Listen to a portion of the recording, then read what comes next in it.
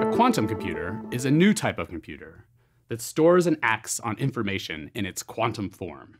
Today, we are entering into an exciting era where quantum computers are beginning to be large enough and performant enough to execute tasks in less than a second that would take years to execute on a normal computer.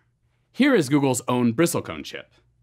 This is a quantum computer made of superconducting circuits with 72 quantum bits.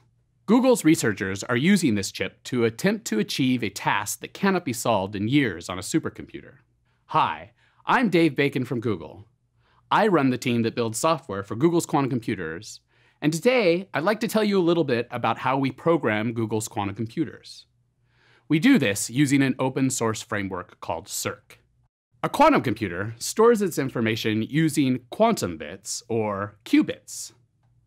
The information in these qubits is then maneuvered around using the laws of quantum physics. To describe an algorithm on a quantum computer, you use what is called the quantum circuit model. The quantum circuit model is essentially a diagram describing how to perform a quantum computation. Here's an example of a quantum circuit. You read this diagram like a sheet of music from left to right. Each of the qubits in a quantum computer corresponds to a single horizontal wire in the quantum circuit. Here we see that this quantum circuit operates on four qubits. The boxes in the diagram correspond to quantum gates that are applied to one or more qubits, depending on how many wires the box is connected to. Here's a single qubit gate, and here is a two qubit gate. Quantum gates are instructions to send control signals to the quantum computer to perform a certain quantum action on the qubits. Finally, one has instructions for reading out the quantum information. This corresponds to quantum gates that perform measurements and turn quantum bits into classical bits. If we have a quantum circuit diagram, we can use this diagram to send microwave pulses and instructions to our quantum computing hardware to execute the quantum gates, and then read out the result of the circuit. Like reading a sheet of music, as we sweep from left to right, we play the given gates as they appear. The quantum circuit diagram is cool looking, but of course, if we had to draw a diagram to do this, and we are writing really long quantum programs, this would quickly become very challenging to do. To solve this problem, researchers developed frameworks or programming languages to write more traditional looking programs that represent the quantum circuit. An open source framework that we use at Google for this effort is called Cirq. Welcome to the circus. Let's write a simple circuit. Cirq is a Python framework. This means you can use all the goodness of Python in helping to write your quantum program. The central object in Cirq is a circuit object. Here we show creating a circuit object. Another key set of objects are qubits. Let's define two qubits with simple names. Now we can perform some quantum gates on these qubits. Let's apply a single qubit Hadamard gate, denoted by H, to one of the qubits, followed by a two qubit controlled NOT or CNOT gate between the qubits. Finally, let's measure the quantum bits. What circuit have we produced? Simply use print to see the circuit. No, it's not 1993, but ASCII diagrams are useful for seeing the quantum circuit that you've built. Here we see the H gate for a Hadamard, followed by the controlled NOT gate with the ampersand symbol and the X symbol, and finally the measurements represented by M. Once we've constructed a quantum circuit, what do we do with it? In Cirq right now, you can perform a simulation of the circuit. Here we run the circuit 10 times and see the measurement results. Measurement results in quantum computers don't always give the same values of bits.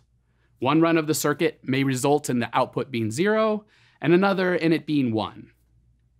Here we see that the measurement results differ for each run of the simulation. Cirq also contains an interface for running the quantum circuit against actual quantum hardware. Now that you've seen a simple quantum circuit in Cirq, you might think, Great, now I can write really large quantum programs. For example, it is known that quantum computers can efficiently factor numbers, something that breaks modern public key cryptography. That's pretty scary. Today's quantum computers, however, are very far from being able to perform this task. This is because, essentially, quantum computers can only perform so much quantum computation before the quantum computation falls apart. Consider again a quantum circuit. Every gate that you apply in this circuit corresponds to some pretty complicated electronics, shaping and sending of electromagnetic fields to the quantum computer. These pulses are not always perfect, and so every single one of the gates you perform has some effective chance of failing. Boom, one of our single qubit gates has failed. In addition to not being able to execute gates exactly, quantum computers also have a problem just doing nothing. That is, if you leave quantum bits around, over time the quantum information stored in them will decay away. We call this process decoherence. Boom! While waiting to execute the next gate, one of our qubits has failed due to decoherence. Today's quantum computers don't perform exactly as we specify them in the quantum circuit model. We call this the problem of noise in quantum computers. Because of noise, the size of our quantum computation is limited for today's quantum computers. It is limited both in the number of qubits and the number of operations we can perform on these qubits. If quantum computers are noisy, can we ever build a really large quantum computer? The answer to this is yes, using a magic protocol called quantum error correction. We won't focus on error correction here, but it is a procedure for turning a bunch of noisy qubits into a fewer number of much less noisy qubits. Since today's quantum computers cannot perform arbitrarily large or long quantum computation, an important question is, what can they do? This is the main question of what people call the NISQ era. NISQ stands for Noisy Intermediate Scale Quantum, and it is used to distinguish today's quantum computers from future error-corrected quantum computers. Are there algorithms of practical value in the NISQ era? We do not know the answer to this question. On the other hand, we also know that we are starting to build quantum computers which exceed the capabilities of classical computers the so-called supremacy frontier. Because of this, there's tremendous excitement in quantum computing. We are entering into the unknown, an era where there is potential for important discovery. We built Cirq for NISQ computers and to aid in this discovery. Because Cirq is focused on NISQ computers and not on quantum error-corrected computers, we made some choices that we believe are important for these near-term devices. As an example, one choice we made is that we believe that the programmer who is coding for NISQ algorithms needs to be very aware of the idiosyncrasies of the hardware upon which the quantum computation is run. Hardware is not abstracted away in Cirq. In Cirq, this is captured by device objects. Here is the device object for our, our bristlecone device. Printed out gives a representation of the layout of the qubits on the device we see that it is a strange grid of qubits. The qubits are represented by pluses. The lines between the qubits represents the fact that only adjacent qubits can be subjected to a two-qubit gate. For example, we can perform a two-qubit gate between these qubits, but not these, which are too far apart to directly interact. Another subtlety of the bristlecone device is that there are important constraints on when you can simultaneously perform two qubit gates. If you apply a two qubit gate to two adjacent qubits, then you cannot simultaneously apply a two qubit gate to any of the adjacent qubits of this two qubit gate.